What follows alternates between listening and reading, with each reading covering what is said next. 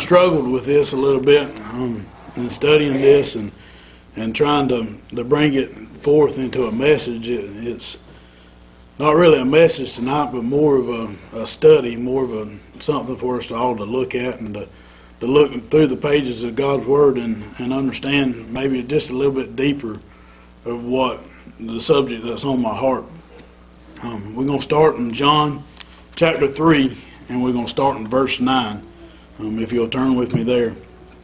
Um, this we're going to pick up right after Nicodemus has been questioning Jesus on some certain things, um, and Nicodemus had asked and about um, different things, and Jesus had just got done explaining to him um, that he had, that we have to be born again um, to to see the kingdom of God. And we're going to pick up in verse nine and read through the end of or through verse twenty one. And it says, starting verse nine of chapter three of John, it says Nicodemus answered and said unto him, How can these things be? And Jesus answered and said unto him, Art thou a master of Israel, and knowest not these things? Verily, verily, I say unto thee, we speak that we do know, and testify that we have seen, and ye receive not our witness. If I have told you earthly things, and ye believe not, how ye believe? How shall ye believe if I tell you of heavenly things? And no man hath ascended up to heaven, but he that came down from heaven, even the Son of Man that is in heaven. And as Moses lifted up the serpent in the wilderness, even so the Son of Man be lifted up, that whosoever believeth in him should not perish, but have eternal life. For God so loved the world that he gave his only begotten Son, that whosoever believeth in him should not perish, but have everlasting life. For God sent not his Son into the world to condemn the world, but the world through him might be saved. He that believeth on him is not condemned, but he that believeth not is condemned already, because he hath not believed the name of the only begotten Son of God. And this is the con- condemnation that light is come into the world, and men love darkness rather than light, because their deeds were evil. For everyone that doeth evil hateth the light, neither cometh to the light, lest his deeds should be reproved. But he that doeth truth come to the light, that his deeds may be manifest, that they are wrought in God. What's on my heart tonight is belief. Um, we all know John three sixteen. Um, probably I venture to say anyone over the age of five or six years old in here, and probably even younger than that, can stand up here and quote John three sixteen to us. And what was on my heart about that is I got to thinking and meditating on John three sixteen, and the promise that is is given at the end of the verse. But what is it that that we have to do to get that promise? We have to believe. And what does that mean to believe? Um, I could ask the question, and we can. I could give everyone in here a chance tonight to go through and and try to expound on what they think it means to believe on Christ or believe in Christ. Um, and it all may be truth, um, but I got to thinking just personally um, as I thought about that verse um, this past week. I couldn't truly tell you what the Word of God said about what it means to believe in Christ. Um, I knew what I thought it meant. I knew what a, a, a surface of understanding, but that just ventured me into a study on belief.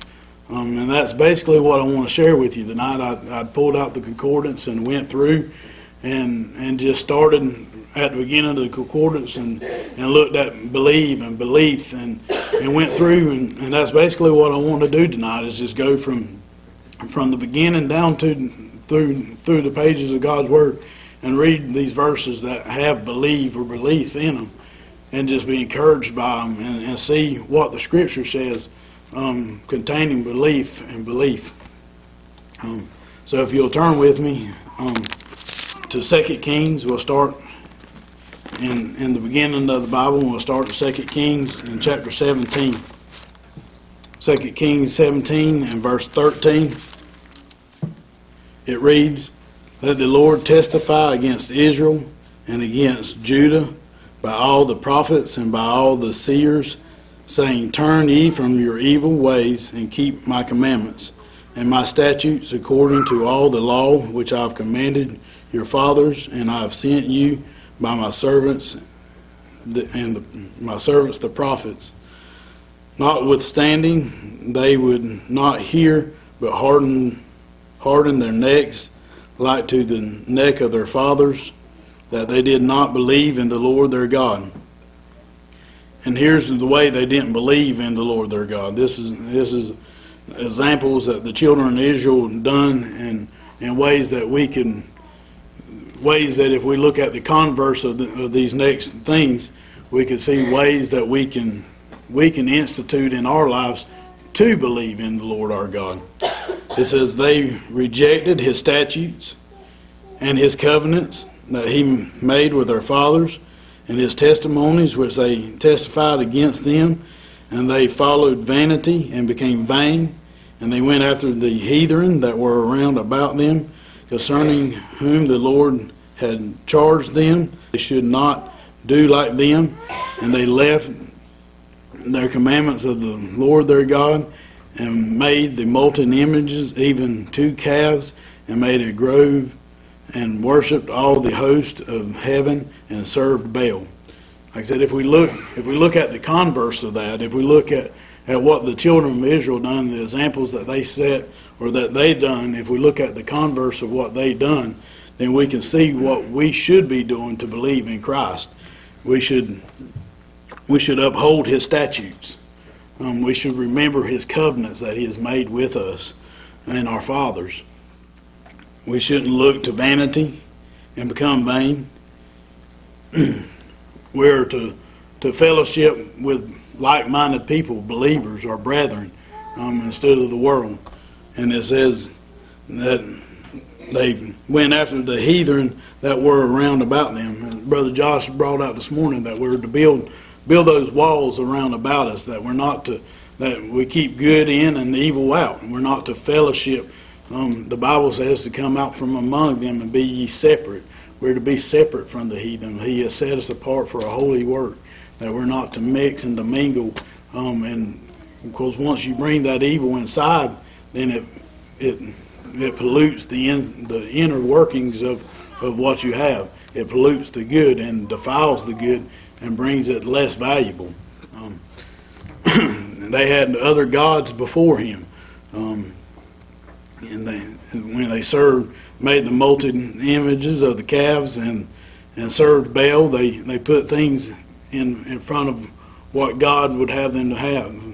So, it uh, moving along to to Second Chronicles, chapter twenty says here in verse 20 of chapter 20, it says, And they rose early in the morning and went forth into the wilderness of Tekoa. And they went forth, and Jehoshaphat stood and said, Hear me, O Judah, and, and ye inhabitants of Jerusalem. Believe in the Lord your God, so shall ye be established. Believe his prophets, so you shall prosper. So if we're to believe in the Lord our God, we have to be established. Established in what? Established in the truth of His holy word. We have to be established in listening to what the prophets had said, what He has given us as truth um, in His holy word. Um, we have to be established in God, and then we can believe in God by knowing the truth of God. Um, in Isaiah if you'll turn with me to Isaiah chapter 43, it says, You are my witnesses, saith the Lord, my servant who I have chosen, that ye may know and believe me, and understand that I am He. Before me there was no God formed, neither shall there be after me. We're to be witnesses of God. as verse 10 says, if we're to believe God, we ought to be servants of God. And we're to know that He is who He is. Um, the Bible says, I am who I am. Um, he is who He is. He's the Alpha and the Omega, the beginning and the end. And it says that before me there was no God formed, neither shall there be after me. The book of Revelation tells us that He was the Alpha and the Omega, the beginning and the end, the first and the last. Um, there was no, there was nothing before God, and there's nothing after God. He's forever is, and forever was, and forever is to come. He He is perfect in all ways. Um, he is the statute, and He is what we should live our lives and model our lives after. Going now into the New Testament, we'll start in Matthew in chapter 9 and verse 27. It says in Matthew chapter 9 and, and verse 27, it says, And when Jesus departed thence, two blind men followed him, crying and saying, Thou son of David, have mercy on us. And when he was come into the house, the blind men came to him, and Jesus said unto them, Believe ye that I am able to do this? And they said unto him, Yea, Lord. Then he touched their eyes, saying, According to your faith be it unto you. And, and their eyes were open, and Jesus straightly charged them, saying, See that no man know it. But they, when they were departed, spread about, about his fame in the, all the country.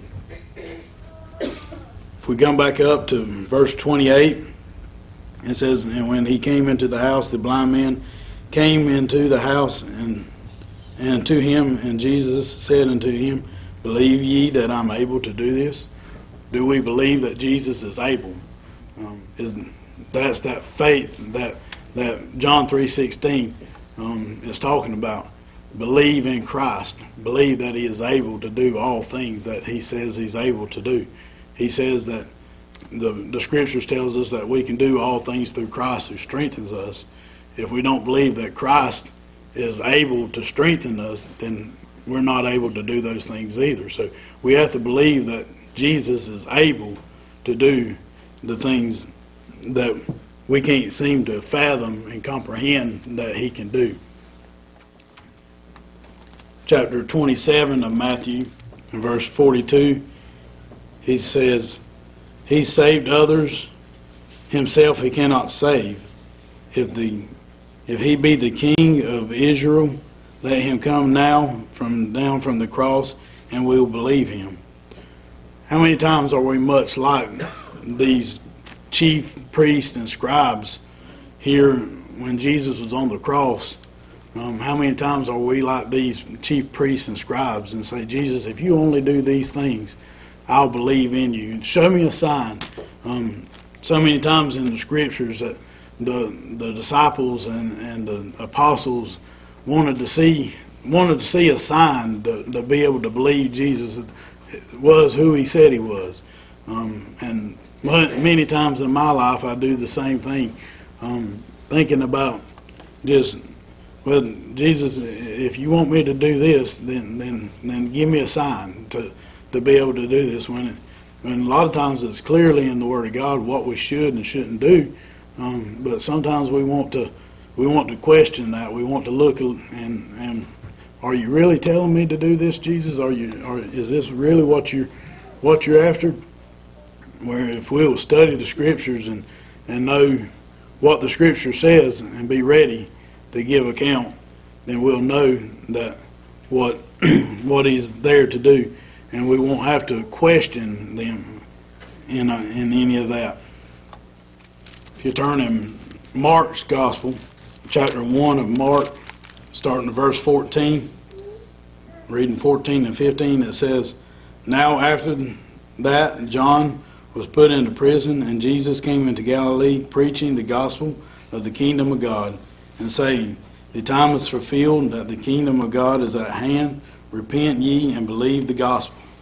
So if we're to believe in Jesus, we're to believe the gospel of Jesus. We're to believe the, the Word of God. We're to believe what He said and what, and we're to repent, um, to turn away from sin. We're to to strive to, to leave sin behind, to, to strive to endeavor to, to do the right thing. Um, repent means to totally turn um, and to seek after that sin no more. Chapter 5 of Mark, verse 35. This is, this is the account of, of the centurion's daughter um, who, who was dead. Um, and he come to Jesus and verse 35 jesus was he had healed the woman already and touched her that had touched the, the, his clothing and he had told her to to go starting in verse 35 while he yet spake there came from the ruler of the synagogue of the centurion which said thy daughter is dead. Why troublest the master any further?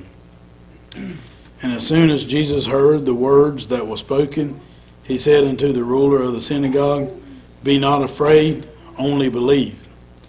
And he suffered no man to follow him save Peter and James and John and the brother the brother of James. And he came into the house, and the ruler of the synagogue, and seeth the tumult, and them that wept and wailed greatly. And when he was come in, he said, unto them, Why make ye this ado and weep? The damsel is not dead, but sleepeth. And they laughed at him and scorned, and when they had put them all out, he taketh the father and mother and the damsel that were with them, and entered into the damsel which was lying. And he took the damsel by the hand and said unto her, Talitha Cumi, which being interpreted, Damsel, I say unto you, arise. And straightway the damsel arose and walked, for she was of the age of twelve years. And they were astonished with great astonishment. Jesus tells the ruler of the synagogue in verse 36 Be not afraid, only believe. Um, that's a way that we can believe in Christ, is to be not afraid, to only believe in Christ. A lot of times it's a hard, lot harder than what it is. Um, it's a lot harder to practice than what it is to say. Um, not to be afraid. Um, we have so much stuff going on out there in, in in our nation today that so much turmoil, so much different things going about us that if we concentrated on those things of the world, then we could sit here and, and we could be afraid of what's going on and, and not knowing about tomorrow. But the scripture tells us that we know who holds tomorrow. Um, we can trust in, in Jesus. We can believe in Him and know He is the holder of tomorrow. And that we don't have to be afraid of what comes or goes. He says that if He feeds the sparrows, He'll surely feed us. Um, and we don't have to be afraid. We can only believe in Jesus, and just like this man. Then his faith in Jesus is what pushed him and drove him to go back to the house where his daughter was. And Jesus effectively healed his daughter and brought her back to life through his belief in Christ. Going to chapter 9 of Mark and verse 23.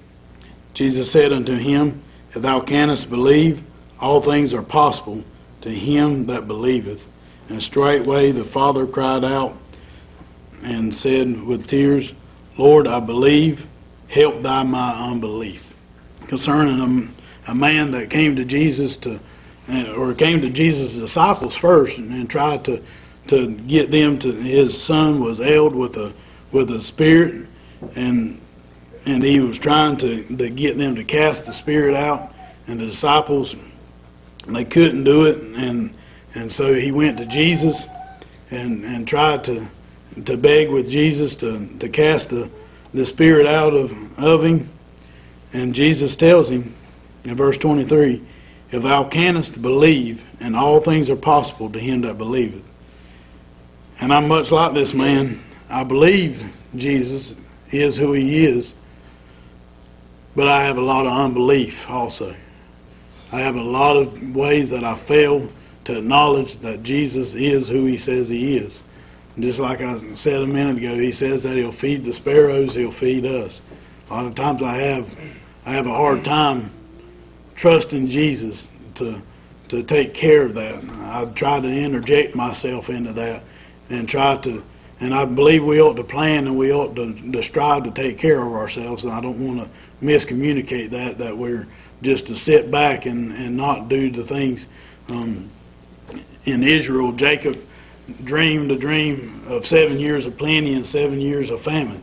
Um, there's ways that we can prepare and and and listen to listen to God and His instructions to be mindful of those things, but we have a lot of unbelief in our hearts. Um, we have a lot of ways that we don't fully trust Jesus to do what He says that He's going to do. Chapter 11 and verse 20.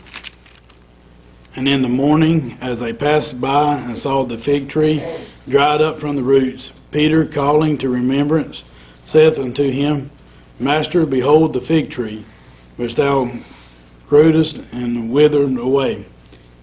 And Jesus said unto him, Have faith in God, for verily I say unto you, that whosoever shall say unto this mountain, Be thou removed, and thou cast in the sea, shall not doubt in his heart, but shall believe that those things which he saith shall come to pass, he shall have whatsoever he saith. Therefore I say unto you, what things soever ye desire when you pray, believe that you receive them, and you shall have them. Jesus tells us here that those times of unbelief, those times that we have that things seem so great that we can't that we can't do, as Josh illustrated this morning, that God will fight for us. Um, he's there to fight for us. In, in times when I, I think of um, my grandma used to have a, a plaque on on her TV stand up there, and it was about a poem about the footprints in the sand. Um, you know, thinking back, and you, it was about a man who looked back and only seen one set of footprints in the sand. And the father said to the man, Those was the times in which I had carried you. Um, we think a lot of times we're walking alone, but it's Jesus who's carrying us and bringing us through those trials and those and those temptations. And he tells us here that if we only believe in our hearts, those things that we think are impossible, he'll provide a way. He'll move those mountains that we think are impossible. He'll open doors that no man can open, and he can shut doors that no man can shut. Um, going now into John, and if you want to study study belief and belief, um, believing in God, um, if you'll just read the book of John, it tells us later, and we're going to get to that in a little bit, that the book of John was actually written so that we might believe and understand more about God. Um, it actually tells us that in the scripture. We'll get to that in a little bit. But we're going to start in chapter 6 and verse 26. Jesus answered them and said, Verily, verily, I say unto you, seek me not because ye saw the miracles, but because ye did eat of the loaves and were filled. Labor not for the meat which perisheth, but for the meat which endureth unto everlasting life, which the Son of Man shall give unto you. For him hath God the Father sealed. What shall we do that we might work the works of God? And Jesus answered and said unto them, This is the work of God that ye believe on him, and he hath and whom he hath sent. So first of all, if we look at verse 26, or verse 27 tells us not to labor for the meat which perishes, but for the meat that endureth unto everlasting life. We're to labor for Christ. We're to labor to Christ. Um, to, we're to labor into the things that are spiritual. Um, it tells us in other scriptures to not put our treasures up where moth and dust can corrupt, but to put our treasures in heaven So it tells us here to, to, to strive for the things of God, to, to strive for what the commandments and what He's commanded us to do, um, and the work of God, to, to labor for the work of God. And in verse 29, it tells us what that work is. It says, This is the work of God, that you believe on Him who He hath sent. So we're to believe on Christ. That is the work of God, to believe on Christ and to believe all things that Christ has instituted and commanded us to do. Going to 6, 68 and 69. Then Simon Peter answered him, Lord, to whom shall we go? And how, whom shall we go? Um, they had just asked Jesus, or Jesus had just asked them if they was going to it, many of in verse 66 it says for many times for from that time many of his disciples went back and walked no more with him. And in verse 67 it says then jesus said unto the twelve will you also go away and then simon peter answered him lord to whom shall we go? Thou hast the words of eternal life and we believe and are sure that thou art the christ the son of the living god we're to, we have, if we're going to believe on Christ, we got to believe that He is the Christ. He is the Son of the living God. Um, there's, we can't believe in in God and not believe in Jesus. And for God and Jesus and the Spirit are one. We have to believe that He is the Son of the living God. We have to believe that Jesus died on the cross and was put in the tomb and raised on the third day and is a living God, and He's actively judging and ruling and reigning today. Um, he's not like the other gods of, of, this world that you can go and visit their tombs and their, their places where they lay. He is seated on the right hand of the Father, making intercessions for all that will call on Him tonight. And and we have to be we have to be like Simon Peter and state and know that He is the one and true and living God and he is the Christ, the Son of the living God. Chapter 8 verse 30. As he spake these words, many believed on him. And then Jesus to the Jews which believed on him, If ye continue in my word, then you are my disciple, disciples indeed. it's not a one-time thing and we're done. Um, the Bible says in John 3.16 is where we started, Whosoever believeth in me shall have eternal life. Well, we can't just believe on Christ one time and have eternal life. This is a conditional thing that we can, just much like the kingdom of heaven, is where we can enter into belief and we can have unbelief. Um, there's times where I believe more so in, in Christ than what I, and other times I don't. Um, and, and that's what that's what Jesus had told these these Jews who believed on him. He says, "If you continue in my word, they had they had continued in in his word, then you are my disciples indeed." Going back to John 3:16, right before John 3:16 where it talks about Moses in the wilderness picking up the staff or picking up the serpent.